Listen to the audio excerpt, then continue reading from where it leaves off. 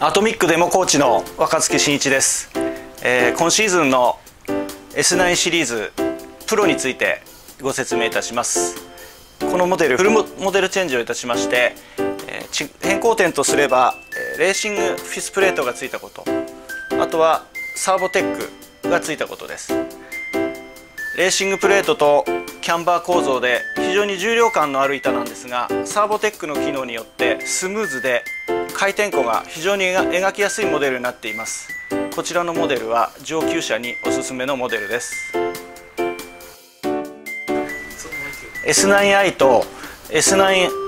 Pro の比較ですが、えー、こちら重量感が S9i Pro の方があります、えー、横から見ていただくと分かるんですが S9i Pro の方は、えー、この表面に突起した状態でサーボテックがついています。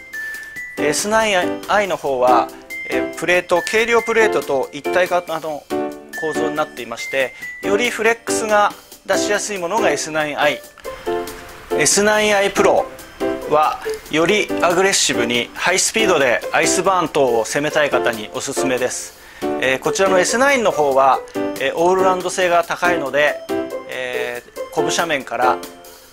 聖地種目に至るまで非常に幅の広いラウンジで楽しめるタイプになっておりますので参考にしてください。